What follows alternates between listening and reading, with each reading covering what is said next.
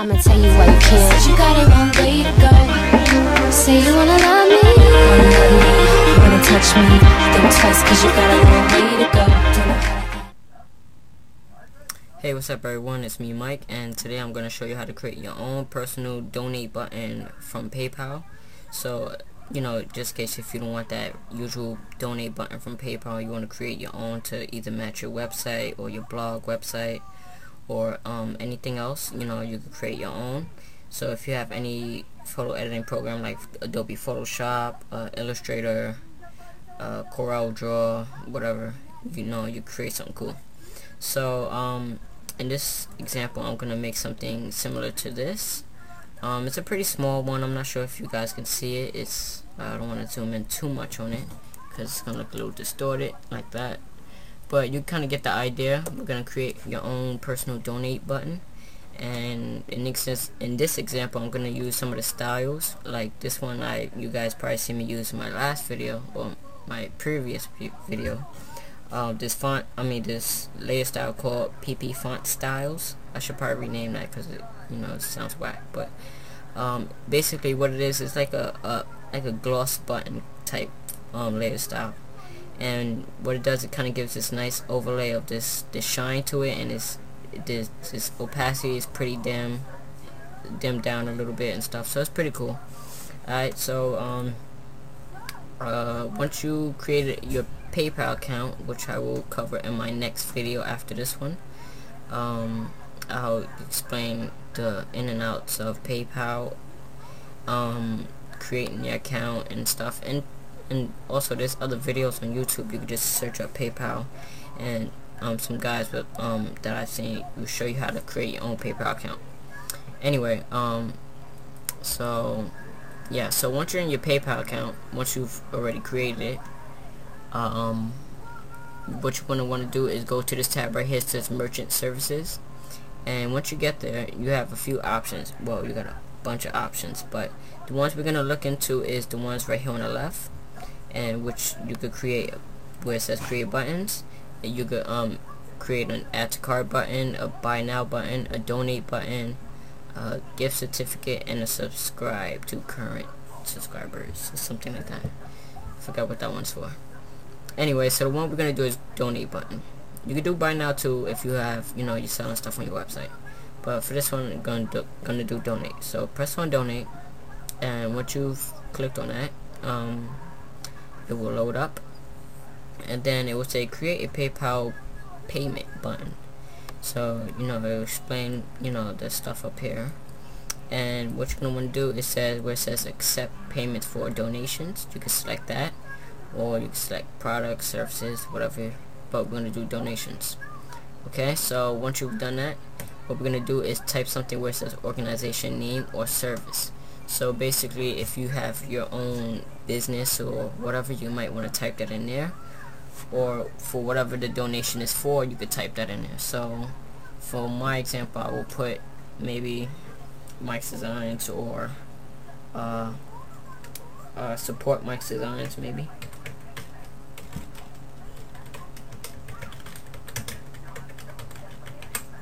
Alright so once you have that um, you don't need to put a donation ID if you want you could uh, well basically a donation ID is a unique identifier. Yeah yeah you guys can read that. Um, next what we're gonna do is go to customize button. So this is what you the buyers the people that's gonna donate to your business or whatever it is is gonna see this right here on, on your right right there. And what you can do is customize that button. So you can use a regular PayPal button or you can uh, use your own PayPal button. In this video, I'm going to show you guys how to make your own PayPal button. So once you select that uh, that selection right there, what we're going to do first is make sure if you haven't already created your PayPal button. So there's mine right there, but for this example, I'm going to create one real quick in Adobe Photoshop. So the dimensions I used was 150 by 100 you pretty much be whatever you want depending how big or how small you want it to be. Um, so you know I'll just probably use maybe maybe even 200 just to get it a little wider. So 200 by 100 I'm gonna try that out. So it's uh, you know lengthy lengthy excuse me. Anyway um we're gonna select the rounded rectangle tool right underneath the uh, a button underneath the text tool go right under there and select rounded rectangle tool and make sure your radius is about 50 and what we're gonna do is just drag that out like that kind of get a good even amount right there just like that. So once you have that we're gonna go select our layer styles and select that PP font style first. But we're gonna make sure that layer is selected and there you go. So there's the one we want. So I'm gonna edit that a little bit because the drop shadow is a little going above I mean a little more than I wanted to. Okay so one minute guys I got a phone call. Alright guys I'm back. Sorry about that. Um so once you're in your layer style just select the drop shadow I'm gonna decrease the, the size or the spread of it so it doesn't look too you know too out of place. And press ok. So once we have that let's select our text tool and the font I'm using is called fairy dust b. You guys can probably check that out on dafont.com or you could go over to my website and select um, how to download fonts on the forums and you should see the download of this font. Alright so I'm gonna call this donate.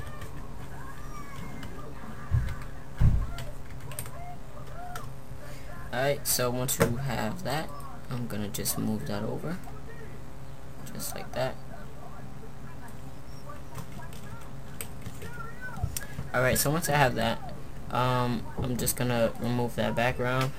Control shift control shift S to save it and you can name it whatever you want. I'm gonna call it donate. And uh, I'm gonna save it. I already have that file already so I'm just gonna rewrite it. Alright it's giving me a little hard time so I'm just gonna rename it to something else. Alright, so I'm to save the PSD file of it just in case I want to go back into Photoshop and edit it. And I'm going to resave it again, but in this time I'm going to select PNG.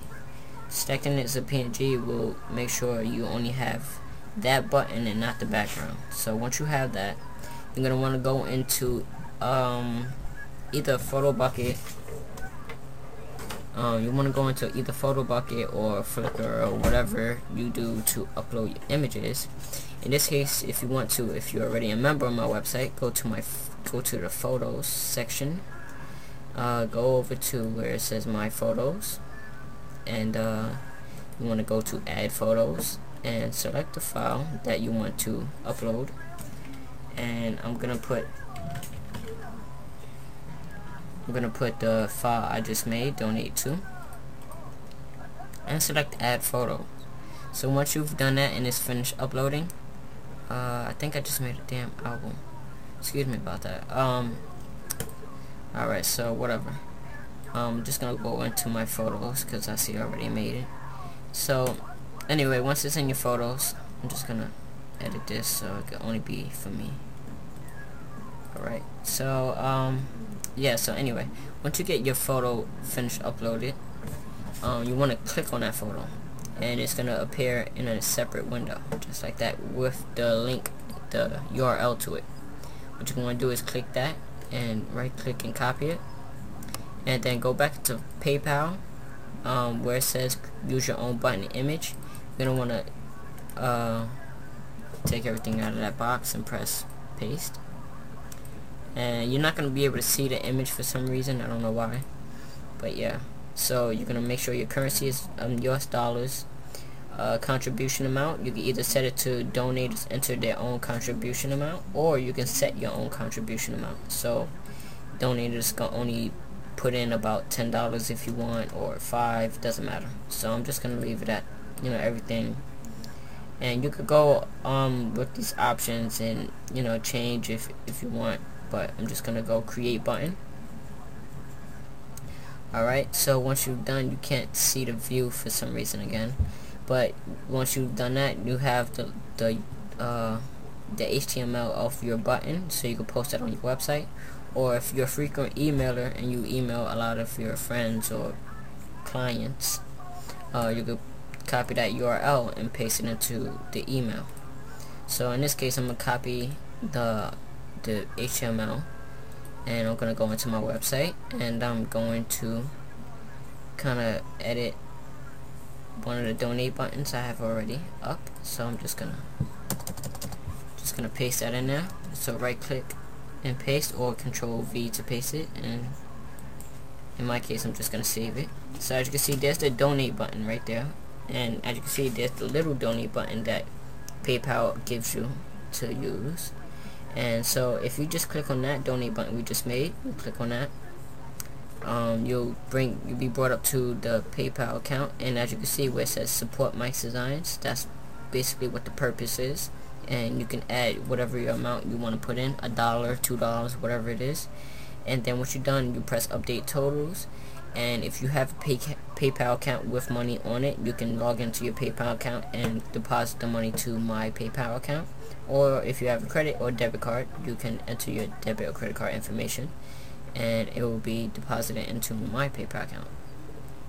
Alright so uh, this was a cool brief tutorial on how to make your own PayPal donate button. Um, please subscribe rate and comment